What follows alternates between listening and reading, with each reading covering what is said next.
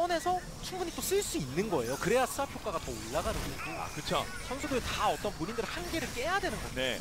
완벽히 준비되고 숙련도가